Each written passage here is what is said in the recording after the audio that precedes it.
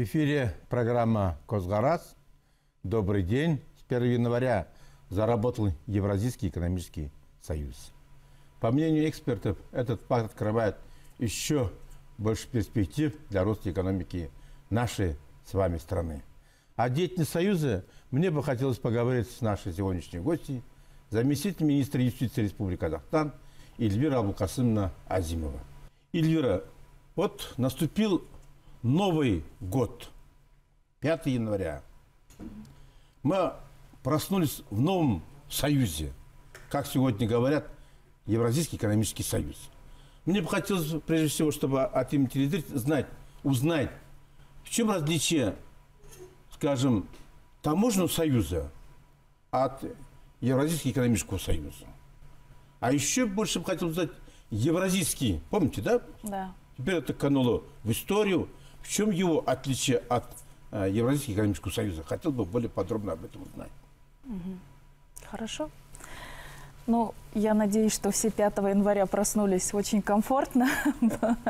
Союз, как мы уже неоднократно утверждали, основная цель Союза – это создание благоприятных условий для развития экономики Казахстана и в первую очередь, конечно же, для наших граждан.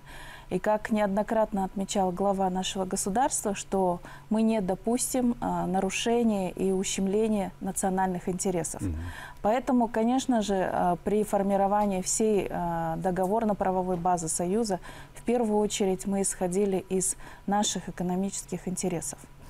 Но Что касается Евразийского экономического союза как новой международной организации, а, конечно же, а, как уже и отмечалось и э, сейчас говорится, а, это в первую очередь э- международная экономическая организация, они несущие э, своей целью э, значит, изменение политического устройства государства. Именно этот вопрос, он э, неоднократно обсуждался э, в средствах массовой информации как одно из возможных рисков для э, Казахстана. Но я скажу, что тот договор о Евразийском экономическом союзе, как основной базовый договор, подписанный э, Казахстаном, Россией и Беларусь, э, родоначальниками, так можно сказать, новой международной экономической организации, э, в первую очередь не содержит каких-либо норм по изменению политического устройства и не закрепляет намерения об этом сторон. А, И этот договор содержит основные четыре принципа. Это четыре свободы, а, которые должны реализовать государства, члены в рамках Союза. Это свобода доступа на рынок, капитала, инвестиции, рабочей силы. И, соответственно, а, значит, в этой части основные положения по каждой отрасли и шаги, которые стороны будут предпринимать, закреплены именно в договоре о Союзе. Это очень объемный договор. Приложением к нему являются 33 документа. 33 документа, да? 33 документа приложением к договору. И каждое из этих приложений а, расписывает и подробно закрепляет а, конкретные действия. Это в том числе касается не только а, сферы, допустим, а, экономических сфер, это в сфере нефти, газа, а, торговой политики. Это в том числе вопросы и деятельности органов Союза, по каким вопросам они принимают решения, каким образом принимают решения. Это и Высший совет на уровне глав государств, и это Евразийская экономическая комиссия, чьи решения, как мы говорим, имеют обязательный характер и подлежат непосредственному применению на терри- исполнению и применению на территориях государств сторон. В чем отличие Евразийского экономического союза от Евразес? Да. А, Отличие в том, что на сегодня э, договор о Евразес э, содержит более четкие конкретные задачи государств, в том числе с конкретными сроками, когда государство приступит к реализации той или иной политики. Например, в сфере фармацевтических лекарств и медицинского, медицинских изделий вопросы доступа на рынок а, регулируются, что мы с 1 января 2016 года приступим к реализации этих вопросов. А Что касается сферы энергетики, то в целом а, вопросы энергетического рынка, формирования общего рынка будет происходить до 2024 года.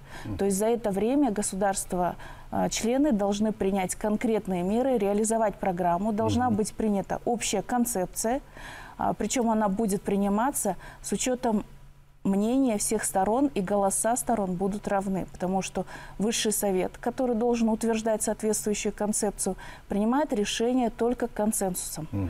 То есть если кто-то из государств будет против, так. эта концепция не будет принята. Не будет. То есть мы в этом плане все правовые механизмы, предусматривающие учет национальных интересов, если это невыгодно Казахстану, мы предусмотрели. Другой вопрос, конечно же, это обязательная задача всех экспертов, всех представителей госорганов на всех стадиях до принятия таких решений отслеживать и рассматривать это четко через призму национального законодательства и национальных программ. Что касается Евразес, то Евразес э, как таковая отличие, что это была организация с более широким мандатом, но при этом таких четких задач, как в Евразийском экономическом союзе, не было. Но говорить, что это была не актуальна по своим задачам организация, это неправильно. Как э, говорят наши дипломаты, Евразес выполнил свою историческую миссию. То есть это этап Э, шаг предварительный до создания Евразийского экономического союза. Потому что все вопросы, которые были в свое время, так угу. сказать, рождены в рамках Евразес, это вопросы формирования таможенного союза, единого экономического пространства, эти вопросы перешли в мандат Евразийского экономического союза. Вот, Эльвира, все хорошо. Какие перспективы нас ждут вот, в 2015 году? Перспективы. Перспективы все зависят от нас, как мы будем реализовывать ага. нашу политику, как правительство будет выполнять свою роль и миссию в рамках Евразийского экономического союза. А что касается самого э, Евразийского экономического союза, он открывает возможности и условия. То есть если мы э, вспомним, у нас есть ряд э, конкретных задач, которые поставил перед нами глава государства. И есть принятые программы. Это вопросы индустриализации, это дорожная карта по поддержке бизнеса, это проекты по развитию транспортной инфраструктуры. Даже если мы обратим внимание к последнему посланию президента Нурлужол, то в ней конкретные задачи поставлены по укреплению и развитию транспортной инфраструктуры, по созданию сухих портов, по социальной политике.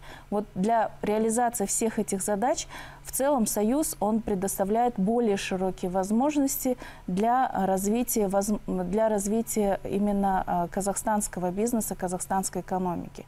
То есть, если мы в качестве примера возьмем, например, а, государственные закупки, угу. то в этом плане для наших э, предпринимателей, для нашего бизнеса расширяется рынок практически в 9 раз.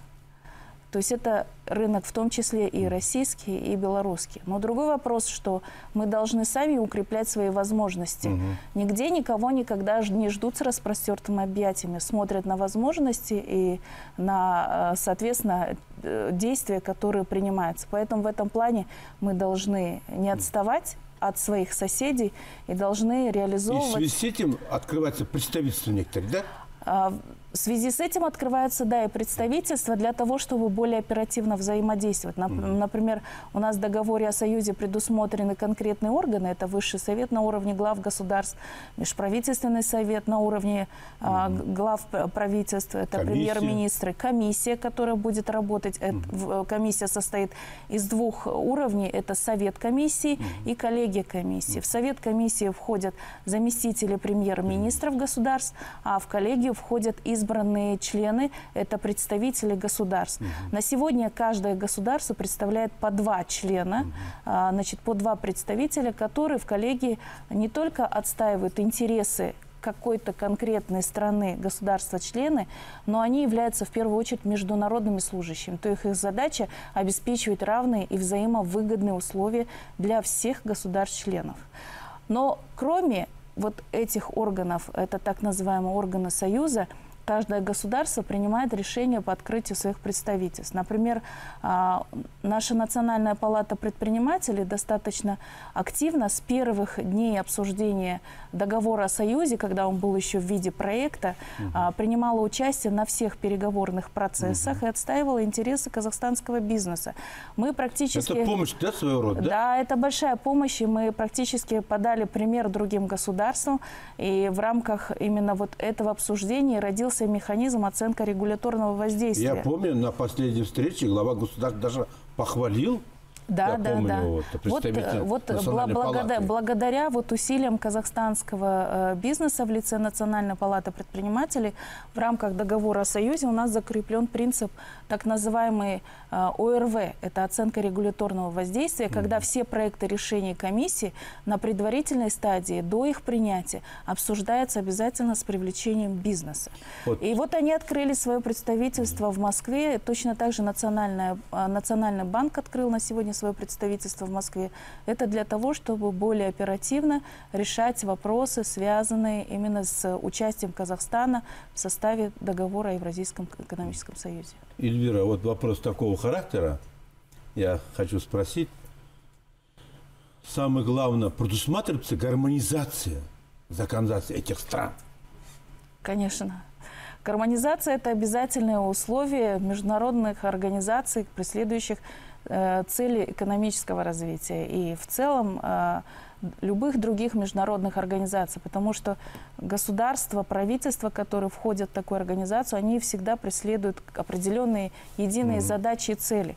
Единственное, что степень гармонизации и сферы гармонизации определяется мандатом этих международных организаций.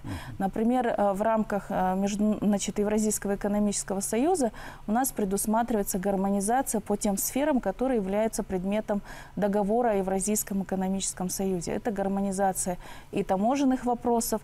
Вы знаете, что еще в рамках э, Евразес значит, у нас был принят единый таможенный кодекс, Вот сейчас в рамках э, значит, э, новой международной экономической организации Союза обсуждается проект э, нового таможенного кодекса, потому что по многим вопросам мы уже решили задачи, мы двигаемся дальше, поэтому а, некоторые нормы утратили свою актуальность, либо требуют э, доработки, приведения в совершенство. Поэтому в этой части практически на сегодня на завершающей стадии находится обсуждение проекта э, нового таможенного кодекса. Вот, наверное, Эльвира будет нашим телезрителям очень интересно. Последняя встреча глав государств в Москве. Она проходила, знаете, до этого были очень громкие заявления Александра Григорьевича Лукашенко, э, Москва, некоторые средства массовой информации говорили, Лукашенко хочет какие-то преференции, а Нурсултан говорит, как всегда, говорит, очень дипломатичный, хитро обошел некоторые вопросы. Мне бы хотелось бы знать, какие вопросы рассматривались на этом заседании? А, На этом заседании 23 декабря на заседании Высшего Совета э, рассматривались а, достаточно серьезные вопросы. Можно назвать это а, заседание э, историческим решающим заседанием Высшего Совета в уходящем году. А, В рамках этого заседания было принято, э, решение, были приняты решения по созданию суда Евразийского экономического союза. А, Были приняты решения, определяющие регламент работы органов Союза, начиная с Высшего Совета на уровне глав государств и заканчивая комиссией. А, Это очень важно, потому что мы должны знать, какие процедуры используются, применяются, начиная с момента рождения проекта решения комиссии и заканчивая вынесением ее на обсуждение сторон и принятием. Это очень важно, потому что с точки зрения моей, э, меня, допустим, как юриста, я должна знать, чтобы эти процедуры тоже соответствовали нашим интересам, а это можно выявить не только содерж- по содержанию решения, но и по процедуре и принятия, потому что нарушение процедуры, а именно непрозрачность принятия решения, это тоже основание для непризнания его государством. Поэтому вот решался и вопрос об определении, об, об утверждении регламентов, были утверждены регламенты, Также был подписан договор о присоединении Кыргызстана к Евразийскому экономическому союзу. Ну и кроме того, конечно же, в качестве вот члена, а, нового члена Евразийского экономического союза в Высшем Совете принимала участие и Армения. А вот скажите, Эльвира, насколько... Вот и у меня такое мнение было в свое время, я эти, до сих пор в этом убеждении остаюсь, было бы хорошо, если бы в этот э, Евразийский экономический союз вошла бы и Украина. Но сегодня такой перспективы я не ожидаю. Но у меня такой вопрос. Вот вхождение сегодня Евразийский экономический союз Армении и Кыргызстана, это благо или нет? Ну, Конечно, благо. Мы говорим о национальных интересах, это благо для каждой страны. Раз Армения и Кыр- Кыргызстан приняли решение о вступлении то, соответственно, это решение государств о том, что вступление и членство в Союзе является благом. А что касается Казахстана и других государств-членов, то, естественно, как я уже сказала, а, основные принципы а, значит, деятельности Союза закреплены в договоре. Это принцип сохранения и защиты суверенитета, территориальной целостности и равной выгоды. Поэтому с этой точки зрения для государств-членов так сказать, родоначальников Союза, это тоже определенное благо, потому что расширяется рынок Союза и предоставляются более широкие полномочия. Но другой вопрос – это, конечно, регулирование этих отношений, поэтому это э, все э, решения о присоединении этих государств, они были приняты вместе с соответствующими программами приведения условий в этих странах в соответствии с требованиями Союза. Это касается и а, укрепления материально-технической базы таможенных, пунктов пропуска, потому что mm. мы говорим на пространстве Союза, действует единая таможенная территория. Это и другие вопросы, в том числе конкуренции, в том числе промышленной политики и так далее. Игорь, ну уровень развития же очень разный же у них, скажем.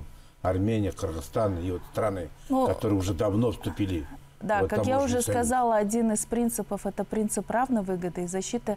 И другой есть еще принцип есть – это защита национальных интересов. Угу. Если мы посмотрим по примеру других международных организаций, в том числе и ВТО, такого э, подхода у международных экономических организаций, что страны с малой экономикой не могут являться а, членами той или иной экономической организации, нет. Угу. То есть сочетание, именно разумное сочетание как стран с более развитой экономикой в качестве членов и стран с малой экономикой, это пример, наглядный пример действующих международных экономических организаций, поскольку в этом контексте это вопрос не выбора в зависимости от экономики, уровня развития экономики, а это э, членство в зависимости от национальных интересов и равенства государств-членов именно внутри организации. То есть независимо от того, что ты мал, страна с малой экономикой или с более развитой, ты все равно должен соблюдать все э, обязательства, которые предусмотрены э, в рамках той или иной организации. Этот принцип предусмотрен э, в договоре о Евразийском экономическом союзе, где сказано, что оговорки к настоящему договору не допускаются. Поэтому с этой точки зрения, вот даже для Кыргызстана и Армении были приняты специальные дорожные карты, в отношении тех обязательств, которые они не могут исполнить на данный момент, а, предусматривается, что они их будут исполнять с отлагательным условием. То есть это касается того же вопроса а, приведения таможенных постов в соответствии с требованиями Союза и укрепления, поскольку... Это получается, Эльвир, тогда получается то, что...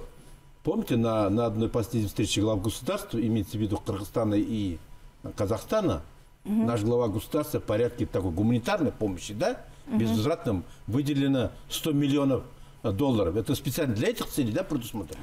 Да, это для этих целей, а, значит, для того, чтобы, так сказать, оказать в определенной степени помощь э, стране, но эта помощь в первую очередь не выливается в виде гуманитарной помощи, а это а, помощь в виде конкретной технической а, поддержки конкретных проектов по приведению обязательств в соответствии с Союзом. То есть, чтобы эти страны... Для общего дела это, Для да? общего дела, да, чтобы э, это не ставилось под сомнение именно задачи Союза по развитию, по предоставлению более широких возможностей для развития рынков стран. Еще такой вопрос у меня. Мы слышим Роспотребнадзор. Но Хаспотребнадзор мы не слышали какой-то активной деятельности. Я слышал, что там мясо какое-то мы не должны сегодня употреблять там какие-то. Но вот э, на границе с Белоруссией, в общем, образовалась очень большая очередь. И в связи с этим, видать, и э, президент Беларуси Лукашенко был возмущен. Мне хотелось бы знать, в чем это все-таки вот связано, с чем это связано? Ну, Я не экономист, поэтому я могу не знать конкретные Так. детали этой ситуации именно экономического плана и отношений органов белорусских и российских, но в целом по самой ситуации, по ее конечному, так сказать, э, результату, который обсуждался 23 э, декабря на- заседании Высшего Совета, я могу сказать, что в целом это было связано с несогласованностью действий национальных государственных органов двух стран. А, Но на сегодня этот вопрос разрешается. Но, значит, в целом, а, так сказать, а, было отмечено а, представителями а, всех государств-членов о недопустимости подобных ситуаций, что прежде всего а, всегда а, комиссия и другие органы Союза должны ставиться в известность и должна использоваться всегда площадка для диалога, для урегулирования. То есть э, принятие санкций – это не есть решение проблемы. Должно быть до принятия санкций должна быть именно предоставлена возможность сторонам по урегулированию проблемных вопросов. Ну, вот это основной принцип, который обсуждался и на Совете Евразийской экономической комиссии, которая проходила буквально тоже э, перед началом заседания Высшего Совета и на заседании Высшего Совета. Еще такой вопрос. М, Знаете, э, Лавров, министр иностранных дел Российской Федерации, выступил, что к санкциям против э, европейских стран и Соединенных Штатов Америки должен присоединиться не только Россия объявила санкцию, но и страны э, экономического союза. Как вы к этому отнеслись, к таким заявлениям? как я отнеслась. Но это мнение одного политического лица, достаточно видного. человека. Да, Не- дос- не ну, пришел, сказал. я уже и отмечаю, что достаточно видного политического деятеля Российской Федерации. Но э, другой вопрос, и я, поскольку юрист, я просто хочу сказать, что на сегодня ю- юридического решения именно в рамках э, Союза не было принято о присоединении. И при обсуждении этого вопроса казахстанская сторона также ясно выразила свою позицию, что вопросы присоединения к этим санкциям Казахстан пока обсуждать не будет. И, по- и- и еще один такой у меня вопрос. В связи с а, объявленной санкцией против Российской Федерации, э, взаиморасчеты между странами единого экономического пространства или единого экономического союза должны какой-то единой валюта. Об этом сейчас в связи с санкцией это остро стало. Как вы к этому относитесь? А по Даже одно время говорили, даже, даже вроде бы э, не, не против были, чтобы назвать Алтын. Да, такой вопрос обсуждался, когда, а, значит, э, так сказать, писался, разрабатывался проект договора о Евразийском экономическом союзе.